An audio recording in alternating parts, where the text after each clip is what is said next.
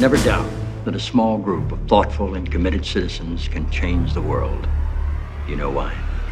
It's the only thing that ever has. These people would walk into fire if you told them.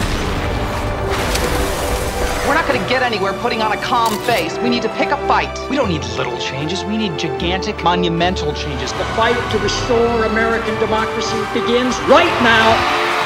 Every time we think we've measured our capacity to meet a challenge, we look up and we're reminded that that capacity may well be limitless. And let that be our legacy.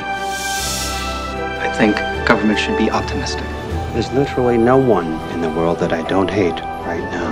That's the White House. You get used to that feeling. we will do what is hard.